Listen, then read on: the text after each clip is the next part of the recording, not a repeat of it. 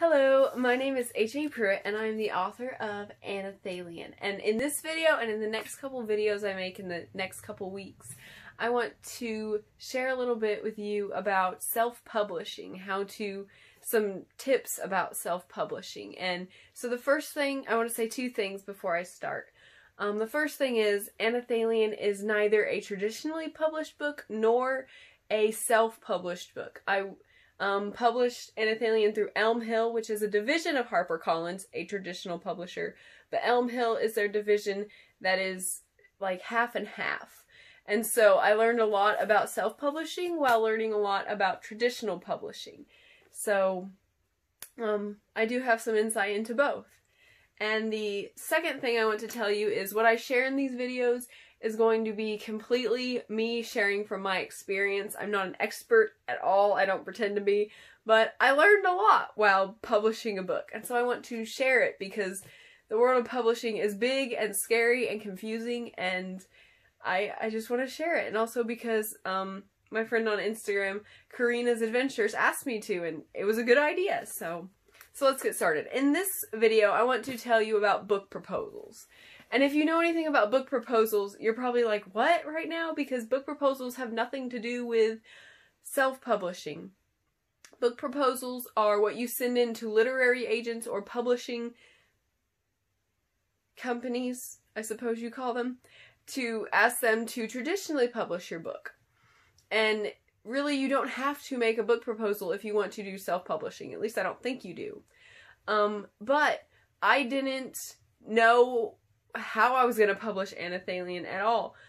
So I thought maybe it was traditional when I first started out this process. And so I did make a book proposal, but when it switched over to being the half traditional, half self publishing with Elm Hill, I found that my book proposal and all the information I put in there was extremely useful for marketing because writing the book is the easy part. Even if it feels hard, it's going to be the easy part. Marketing is the hard part of publishing, especially self-publishing, because you got nobody to help you and tell you how to market yourself. And so, book proposal. I'll use mine as an example. I don't know who I got this template from. I can't remember. It's been many years. it's been many years.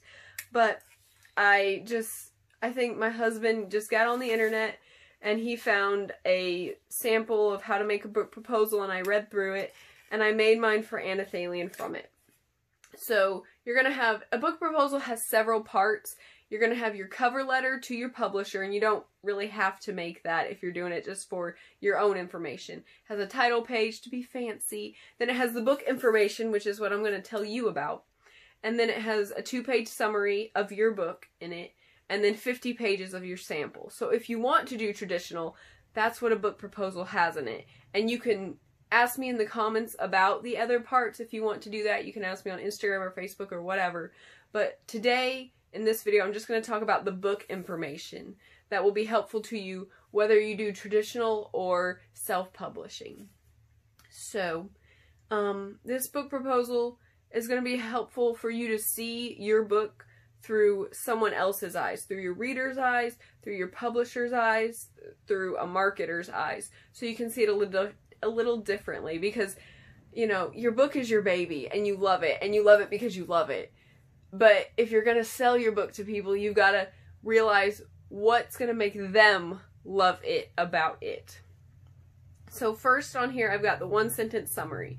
And you want to do a one sentence summary, just purely the whole story told in one sentence. That's hard, but it's good to have it in case people are like, what's your book about? You can tell them in one sentence what your book is about. Mine for Anelthalien, mysterious necklaces transport four teens to a land called Anelthalien in order to save it from from a forgotten evil. That's the whole summary of the book in one sentence. It doesn't have to be anything fancy. It's more informational. The fancy comes later. Um, then your profile of your reader or your target audience. You want to know this for your book. Start out with what's the genre of your book? Anelthalien is fantasy, um, fiction fantasy, Christian fiction fantasy. Um, the genre, if you don't know what genre your book might fit into, think about what is in it. Anelthalien is um, Christian fiction fantasy because it's a Christian allegory, because it's a fantasy world, and because the main characters are young adults, and so it's a young adult Christian fiction fantasy book. Um, to know what real genres are, because we can make up anything um, we want, what category my book fits into, but to know the genres that are recognized in the book world, um, BISAC codes. B I S A C codes. All capitals BISAC codes. You can look them up on the internet. When you turn over a book and look on the little barcode here, above it, there's going to be a big word and then a couple smaller words. And that's going to tell you the genre of your book. Mine says fiction. That's the big heading category. And then Christian and fantasy are the more subheadings genres. And so to really know what genre your book fits in. That's how you'll know um, what genres exist to go to the BISAC codes, but then figure out why your book fits into that and put that in your um, book information, book proposal. See, my profile, my reader, I tell why it's a young adult and I explain that. And then also, um, you want to know your target audience. Like mine, if it's young adult, you figure that out. A lot of the times, children's books, um, genres will tell you exactly who your target audience is. But your target audience is important because that's going to play into marketing immensely. It's going to tell you where to market, it's going to tell you who to market, but we'll get into that later. But you want to figure out who's going to read my book. Is it going to be kids? Is it going to be um, middle grade kids? Is it going to be young adults? What does that even mean? Look it up. It's on the internet and you'll know what all those different age categories of books are. Or older adult, there's there's tons. Um, but hopefully you'll know when you write your book and read your book who this would appeal to the most. And then also I've got some additional readers because everybody wants everybody to love their book. And so think about who else might like your book. Young adults would like my book because the main characters are teenagers, but also anyone who likes Christian allegories, like anyone who likes Narnia, would like enjoy my book because it's that it's that kind of thing. I won't get into that now. I'd love to, but I won't. Um so think of anybody else. Think of your main target audience, but then do think of others. Don't just say everybody would love my book because everybody's not going to love your book. I wish they would, but they won't. So really think about it and write who is going to like your book, what genre your book fits in, and and why it is that and make that into a little nice paragraph. Um then the next thing in a book proposal is the overview and comparable books. That means tell what books your book is like and why. Um, try to pick at least three books that your book is similar to and compare and contrast them. Say, my book is like the Chronicles of Narnia because it's a Christian allegory, but it's different than the Chronicles of Narnia because the characters are not kids, they're teenagers, and um, it's uses different symbols.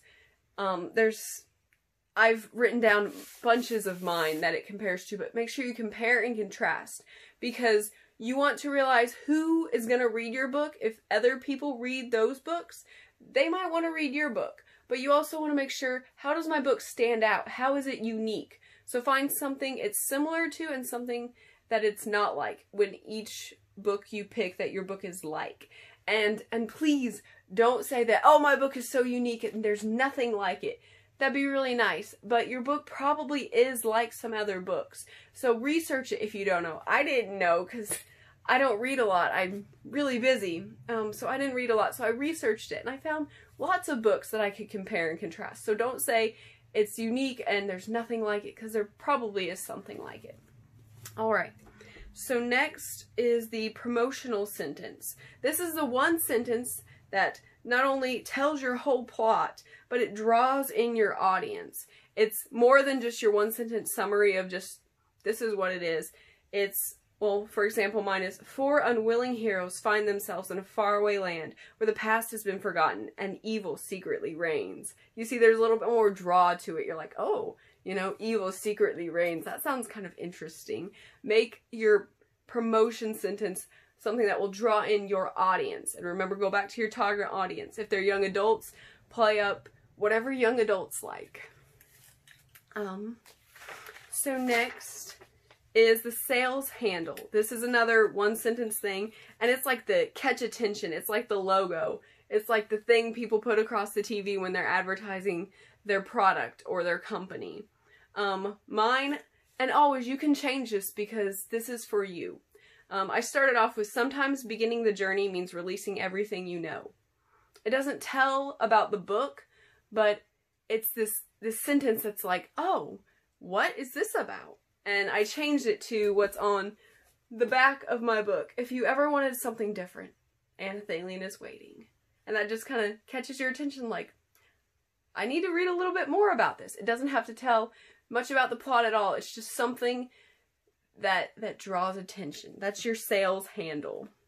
Um, the back cover copy or your synopsis is the big dog. It's the thing that goes here. It's the thing people are gonna. It's the thing people will read whenever they pick up your book to know if they want to read it or not. So this, your synopsis, your back cover copy, is very, very important. It needs to be a summary. It needs to be about 75 words. Start with 75. It's hard to narrow your whole book down to 75 words, but start with 75. And if you have room, you can add some more. Um, but make sure you provide enough information about your book to stir interest, but not so much that people feel like, well, I already read it. I don't need to read what's actually in the book. So that's very important. Work a lot on your synopsis and make it awesome. Um, also, the next thing is purpose for writing or your motivation for writing. You want this for you, so you remember why am I writing this book? So whenever you start marketing and you start advertising and you start trying to sell, you don't feel like I'm just using people. I just want people's money. You remember, no, I wrote this for a purpose. I wrote this my purpose is because my purpose is kind of complicated because I don't want to write a book. Um, but just in summary, I didn't want to write the book, but God wanted me to because it's this story that draws people to Him. And so my motivation is to obey God because God wants people to be drawn to Him. And that's important to me. And if you remember that, I'm not advertising because I want people's money, but I'm advertising because I want people to know God or whatever's important to you, then that will help you stay grounded and not you know, get greedy or get your head spinning off somewhere else. But remember, this is why I'm doing this. This is why this is so important, and I've got to keep doing this. Um, and you can tell other people that too, like I did in my series, The Story Behind the Story. And if they have the same motivation as you, that will help people be like, maybe I want to read this too, because that author shares my my heart. So it's a good thing to know and write down and know. Um, the protagonist quest and what is at stake. The protagonist quest is um, what your main characters are doing. What is at stake is if your protagonists fail, what's going to happen. And you want to know those because you want to make sure there's something people relate to. Like if I was writing for little kids, I wouldn't want my protagonist quest to be something about um like it is in Anelthalien to be striving to end the reign of evil because evil's kind of a abstract concept. So you don't want to tell kids this abstract concept is what my characters are doing. They can't relate to it. If you're writing for an older adult audience, you don't really want to go with the fantasy because they're like, that doesn't teach me anything. You know, I want to learn something. I want to be educated. It's it's it's kind of hard to think about what your reader might think about, but try to make sure that whoever your target audience is matches what your characters are doing. It's relatable to them. And hopefully, what your main characters are doing is relatable to more than just your target audience because fighting against evil is in a lot of stories. And so that's pretty relatable because we all fight against what we feel is evil all the time. And so anybody could relate to that. And that's a good protagonist quest and what is at stake kind of thing. Um, and then the takeaway value or your felt need. Okay, so your felt need is huge, huge, huge, huge. A felt need. That is what about your book is necessary for people. So the easy example, um, a parenting book. That's my bread. I gotta go eat my bread. Okay, the bread's okay. So, felt need. This is really important. Your felt need in your book is what is what is necessary for your reader in your book. In a parenting book, what's necessary is how to parent. In a cookbook, it's how do I make food. It's that thing in people that they want that is going to draw them to your book. People want to be good parents. People want to make delicious food. In Anelthalien, my felt need is something different. That's kind of abstract, but whenever Elm Hill was teaching us about felt needs and what that meant and everything, um, I just realized, kind of looking back through my life, what drew me to these this imaginary world of Anelthalien was I just wanted to be somewhere different. And then through high school, everyone, you know, live in small podunk town and everyone's like, I just want something different. I just want to get out of here. I just want to go somewhere different. And then growing up, you hear people with jobs that they don't really like. And they're like, man, I just want something different. And Anelthalien is that. It's something different. And so that's what your felt need is. That thing in people that drives them to do things, that drives them to read books, that drives them to want to get this information. That's your felt need. And so the takeaway value is the felt need um, of something different, of something more. And so in mine, from Anelthalien, readers will learn that tying yourself to God results out results in living out a purpose bigger and more important than yourself. And also that as followers of God, we must tell others about him. That I didn't say something different in that, but that living out a purpose. Like, I want my life to be something more than this. I want my life to have purpose. I want to know what to do with my life. I want something different. I want something more. So that takeaway value or that felt need is what you want to just think about a lot whenever you read your book, what you get out of it, what you learn, how you grow as a person. That that felt need is really important. And also, um, I just added um, in the book proposal stuff, I've added favorite quote because that's that's kind of fun and you will use it in marketing. My favorite quote in my book is one I've used often in Instagram posts and Facegram Facegram posts. Yeah, let's make that up. Facegram posts um, to to get people be like excited about it. And so anything else you think of to that would create excitement in your reader you think is necessary for you to know to think like a marketer, put that in your book proposal. Make your book proposal, or if you want to just call it my book information, on my computer it's saved as Anelthalien Stuffs. Um, get together this information so you know about your book and you know everything you need to know about your book. Become an expert on your book. That is my first self-publishing or traditional publishing tip. Be an expert on your book by compiling a document of the informa- the the book information. So that's all I'll do for now. Bye for now. Hi, if you want to know more about Anelthalien, please follow me on Instagram. Um, check out my Facebook page. Please subscribe to my YouTube channel or visit my website at hapruitt.com. Thanks for watching.